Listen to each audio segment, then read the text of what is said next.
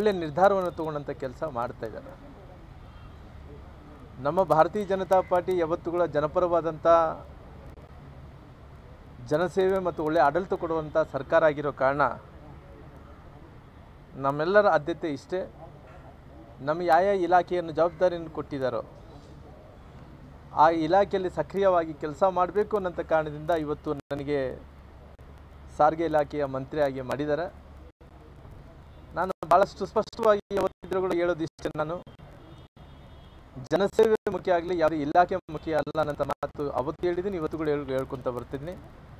ಆದರೆ ಎಂಥ ಪರಿಸ್ಥಿತಿಯಲ್ಲೂ ಕೂಡ ನಾನು ಕೊಟ್ಟಂಥ ಜವಾಬ್ದಾರಿಯನ್ನು ಸಕ್ರಿಯವಾಗಿ ಜನಪರವಾದಂಥ ಜನರಿಗೆ ಬೇಕಾದಂಥ ಅವ್ರಿಗೆ ಮೆಚ್ಚುವಂಥ ಕೆಲಸ ಮಾಡೋಂಥ ಕೆಲಸ ರಾಮ್ಲು ಮಾಡ್ಕೊತ ಬಂದೀನಿ, ಮುಂದೆ ಕೂಡ ಮಾಡ್ತೀನಿ, ಇವತ್ತು ಕೂಡ ಮಾಡ್ಕೊಂಡು ಹೋಗ್ತೀನಿ.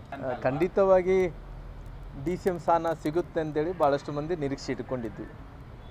ಯಾಕಂದರೆ ನಮ್ಮ ಪಾರ್ಟಿಯಲ್ಲಿ ಕೆಲವೊಂದು ರಾಷ್ಟ್ರೀಯ ಪಕ್ಷ ಆಗಿರೋ ಕಾರಣ ಕೆಲವೊಂದು ನಿರ್ಧಾರಗಳು ನಮ್ಮ ರಾಷ್ಟ್ರೀಯ ನಾಯಕರಾದಂಥ ನಡ್ಡಾಜಿಯವರು, ಅದೇ ರೀತಿಯಲ್ಲಿ ದೇಶದ ಪ್ರಧಾನಮಂತ್ರಿಯಾದಂಥ ನರೇಂದ್ರ ಮೋದಿಜಿಯವರು ಜೊತೆಯಲ್ಲಿ ನಮ್ಮ ಅಮಿತ್ ಶಾ ಅವರು ಜೊತೆಯಲ್ಲಿ ನಮ್ಮ ಕಟೀಲ್ ಅವರು ಕೂಡ ತಗೋಬೇಕಾಗುತ್ತೆ.